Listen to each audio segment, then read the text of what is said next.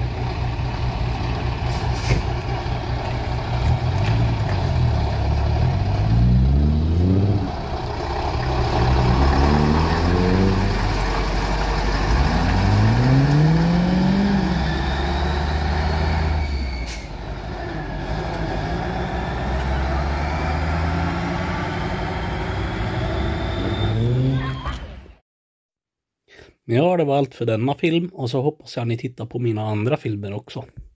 Adjö.